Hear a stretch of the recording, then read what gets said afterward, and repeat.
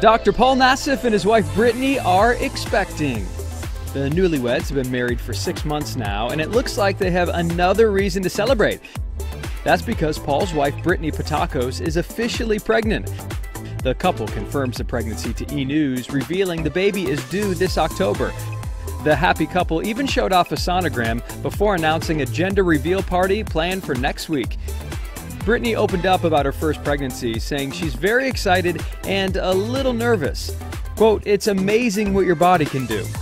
Not to be outdone, the Botched doctor echoed his wife's sentiments, adding that his youngest kids, who are twins, just celebrated their 14th birthday.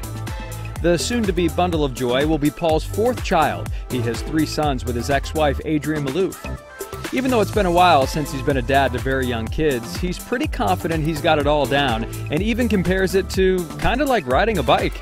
Paul says, I still remember most of it, all of it. Obviously, it will be scarier for Brittany because it's her first time doing this. Congratulations, Paul and Brittany.